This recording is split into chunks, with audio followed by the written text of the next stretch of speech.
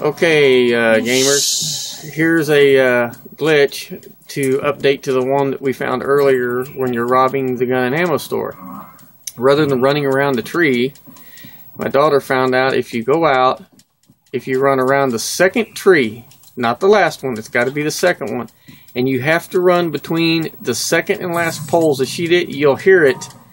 It will blow the registers open, and all you got to do is run in and collect the cash laying on the floor or counter or wherever it happens to come out at. Now watch. You go out the door. Don't get hit crossing the street. Go around the first tree. Come back. You have to go between the first, second, and third pole, and it will reset the registers. The police will never come. And you just keep collecting the cash. This way you do not have to shoot the registers every time and you can just keep running circles and build your cash up very very quickly doing this. Again as you see around the second the first tree actually. You have to run between those two poles. And then as soon as you run between the poles you'll hear it. You'll hear it make a noise whoosh noise and then you have reset the registers.